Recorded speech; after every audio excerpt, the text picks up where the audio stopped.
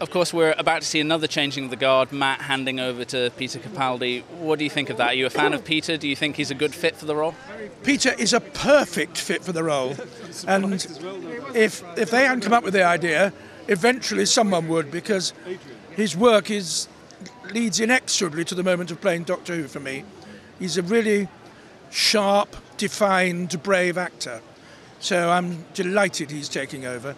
And he's a grown up.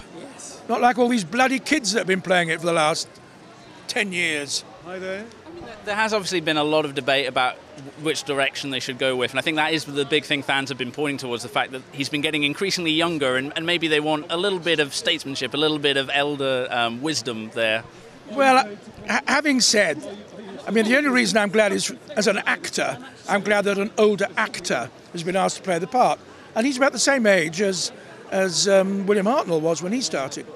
Um, to be fair to both David and Matt, they may be young in years, but in fact their performances um, convinced me they were 900 years old, um, you know, going on a thousand.